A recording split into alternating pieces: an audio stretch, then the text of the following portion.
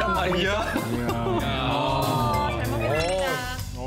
구운 채소들을 하고 네. 생치즈가 올라가 있거든요. 그리고 이제 치즈군요. 네, 사람에 따라서 간이 다를 수 있으니까 그런 네. 경우에는 올리브 오일하고 발사믹 뿌려서 간 맞춰서 드면 되겠습니다. Kinfolk가 뭔가요? 그러니까 뭐 Kinfolk라는 게 이제 친족이나 친지를 어, 친숙하게 이제 부르는 단어인데요. 2011년도에 미국의 Kinfolk라는 잡지가 나오면서 전 세계적으로 이 Kinfolk 스타일이 유행을 하고 있거든요. 어, 그런 맥락 중에 하나로 Kinfolk식 Kinfolk 테이블이라는 게 있습니다. 네, 그런 식단을 뭐 구성을 해봤어요. 강신아 씨는 고기가 없어서 싫으시죠? 예.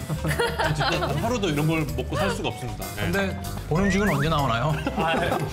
Kinfolk가 친한 사이끼리를 의미한다면서요? 친한 사이니까 먹어주는 거죠, 서로. 선생님 어떠세요? 입맛에 좀 맞으세요? 예, 그 건강해지는 그런 느낌입니다. 어, 먹을수록 굉장히 깊은 맛도 있고, 네, 그 채소의 그 깊은 맛, 다, 단- 단맛도 다 느낄 수 있고 좋은데요. 식감이 좋지 않아요? 네, 귀리하고도 잘 네. 어울리고요. 저도 네. Kinfolk라는 것이 이제 미국에서 생겨난 게 어떻게 보면 애처로운 면도 있어요. 왜냐면 이제 미국에서 하도 뭐 인스턴트 음식이나 냉동 음식 같은 것이 한 세대를 지배하다 보니까 어, 아는 사람끼리 모여가지고 그냥 요리해 먹는 그런 재미 이걸 갖다가 한 세대가 완전히 잃어버린 거예요. 그래가지고 그 세대가 그 아래 세대가 잠깐만 옛날에 영화 같은 걸 보면은 그냥 동네 사람끼리 모여서 음식 해 먹고 이런 것을 그림으로는 아는데 이걸 어떻게 하는지를 모르는 세대가 그것을 다시 더듬더듬 찾아나가는 과정이라고 볼 수도 있거든요. 우리나라 사람들에게 가장 필요한 게 여유인 것 같아요. 그래서 최근에 이제 인기를 끄는 예능 프로그램들 보면 시골에 가서 밥 세 끼 해 먹는 거.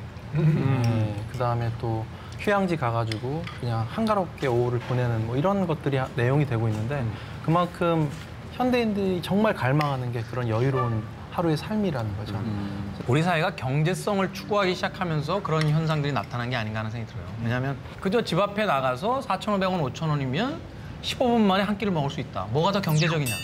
이렇게 생각하기 시작한 거죠. 근데 사실 우리 삶을 즐겁게 만드는 건 그런 경제성이 아니라 그 장을 보러 걸어가는 그 과정 속에서의 어떤 설레임, 음식을 만들 때의 즐거움, 또 직접 만든 음식을 나눠 먹을 때 어떤 행복감 이런 것들이 있는데 기업에서 그 중요시하는 경제성이라는 걸 개인의 삶에다가 집어넣게 되면서 우리 삶이 가져야 될 그런 재미와 즐거움과 행복감들이 다 사라져 버린 거죠. 맞아. 책에서 보면 태미가 minimal life를 선택하면서 삶에 많은 변화가 찾아오게 됩니다.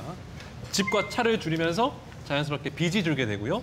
억지로 이제 바쁘게 일을 하지 않아도 되고 그렇게 남는 시간에 뭔가 여유를 즐기게 되고 그녀가 원하는 글도 쓰게 되고 뭔가 또 물건을 기부하고 공유하면서 가족뿐 아니라 이웃과의 관계도 참 좋아지게 됩니다. 태미의 이런 실천 방법 이야기를 해봐야 될 것 같은데요.